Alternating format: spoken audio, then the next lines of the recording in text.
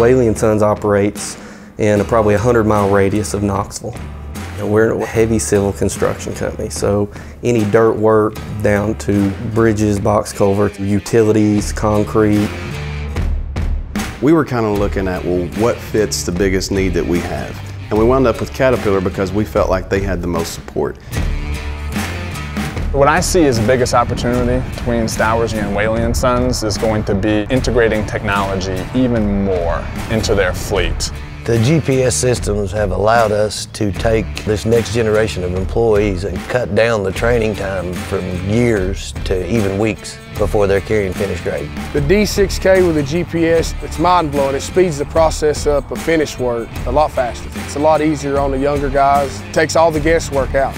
Once we got into the technology, we realized its potential, and we know that that's the future. It sped our jobs up. We didn't have to have layout crews on every job. We could lay out by the machine itself. We didn't have to worry about undercutting or overcutting a slope, and that changed everything for us.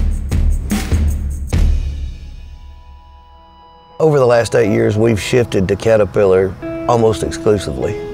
Everything came a step at a time. Nothing happened all at one time. And the culture change, it was a gradual process.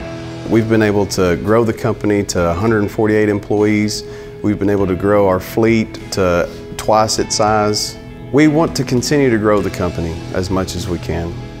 Until you get those things out of life that you want, I think that you continually have to strive for them.